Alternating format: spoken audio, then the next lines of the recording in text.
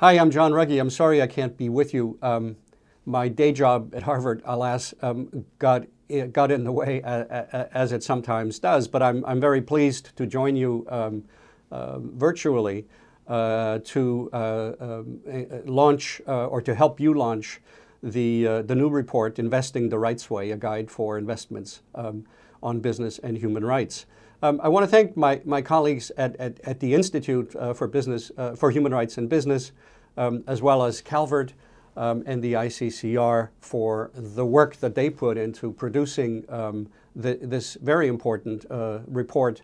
And I'm also encouraged to know how many of you um, are there and have participated in discussions as this report uh, was evolving. I'm very grateful to you all.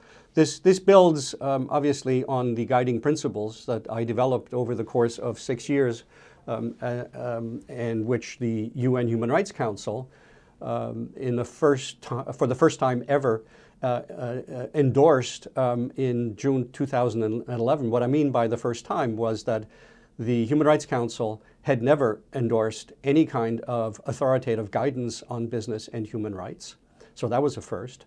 And the other first was that um, it had never endorsed a set of normative principles that governments didn't negotiate themselves. Um, we presented them and governments voted them up or down, and I'm happy to say it was up, um, and, and the up was unanimous.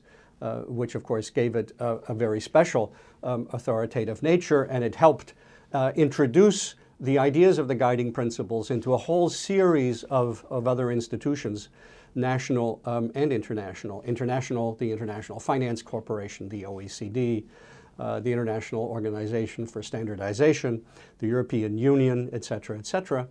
Nationally, um, at the EU level, um, governments are developing implementation plans um, in the United States, um, the human rights due diligence provisions um, of the guiding principles found their way into Section 1502 of Dodd-Frank. Um, in the new um, uh, reporting requirement for American investors investing in Burma, uh, the guiding principles um, are to be referenced as a benchmark uh, by any American investor um, investing more than $500,000. And so um, the, the, the, the, seeds have been planted um, in a number of places, uh, not simply um, institutionalized uh, in the UN itself. Now, the guiding principles make it clear that, that all businesses, um, irrespective of sector, irrespective of size or where they operate, all businesses have a responsibility to respect human rights. To respect human rights means to not infringe on the human rights uh, of others as they go about their business. And businesses can know and show that they are respecting rights by um, following or, or, adopting an adequate due diligence uh, procedure, um, which we outline uh, in some depth um, and, and some detail uh, in the guiding principles themselves. Now, the, the, the, principles are established, they're out there. Uh, companies are acting on them. As I say, international institutions of one sort or another uh, are out there as well. But I remind you that the guiding principles themselves provide fairly high level guidance. Um, and uh, for uh, more granular content, um, something that can be translated for um, uh, a, a, a, somebody at a local site who ha has a particular decision to make, there we need to drill down further um, in terms of, of sectors.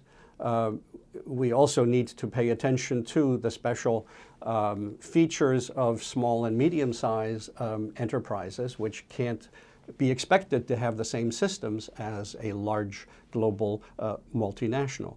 Um, so the next task, the next task is, is to go more granular um, and the financial sector um, is one of the areas um, in which uh, this work is now being done. Um, the, um, uh, the OECD is doing a mapping exercise of the financial sector um, in relation to uh, human rights issues.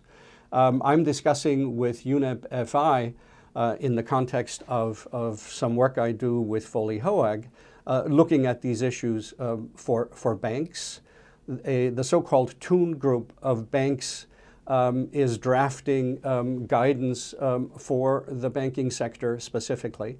Um, and the investment community, of course, um, has and continues to be actively uh, pursuing the discussion uh, amongst themselves. The International Finance Corporation has played a significant uh, role um, in, in this context, and of course the Equator uh, banks, uh, the 80 or so banks that track the Equator principles um, are um, also um, hard at work um, in revising the Equator Principles to give recognition to recent developments in the area of business and human rights. I'm very pleased about, about all of that. Um, now, this, this new guide that you will be discussing is the start of a process uh, of reflection for uh, investors. Uh, absolutely key players um, in, in the whole chain um, uh, of, of, of, of, players involved um, in, in business, in, in, in investing, um, in, in, uh, in commerce. Um, and so for, for you, some things will be the same. Um, your workers, uh, your suppliers, the responsibility to respect in relation to them, that's, that's the same as for any other business. Um, but um, you also have special relationships with investee companies, um, and, and, and that needs to be uh, clarified um, a bit um, more than it has been to date. Um, parts of the investment community has been very active in addressing uh, particular human rights issues, uh, trafficking, conflict, minerals, what, what we're hoping to achieve now is to, is, is to encourage the development of a more systemic uh, approach, a more systemic um, uh, uh, um, development or intervention that will have cumulative effects and begin to truly move markets um, overall by uh, making human rights due diligence a regular part um, of your investment decision making um, and engagement um, with, with companies. Now, what, what, why are we doing this? Well, we're, we're doing it obviously in the first instance to um, reduce the incidence of corporate related um, human rights uh, abuses. Um, and uh, the, the, the, the, major tool, um, adequate human rights due diligence, uh, is intended to, um, to, to help establish um, the a business's social license to operate um, in addition to simply whatever legal license to operate it, it, it, it already has. The benefit for society is, is, is obvious. Um, as human rights challenges are reduced and managed better. Uh, also, this will help rebuild trust um, in business. I'm sure you well know um, the, um, the beating that the uh, business community uh, and other social institutions, um, not the least the U.S. Congress, the beating institutions are taking in terms of public trust.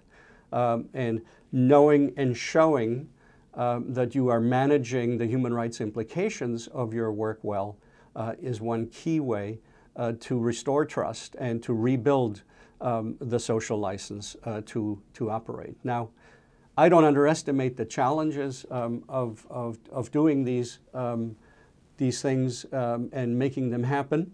Uh, but um, with dedicated people um, and, and institutions like yours involved, I, I know that, that, that we can do it.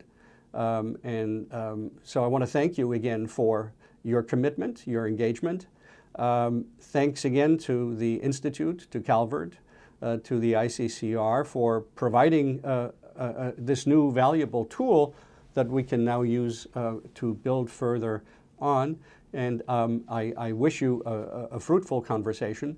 Um, and if there's any way uh, down the road that I can be helpful, you, you know where to find me, and I would be delighted to, to be engaged. Thanks so much.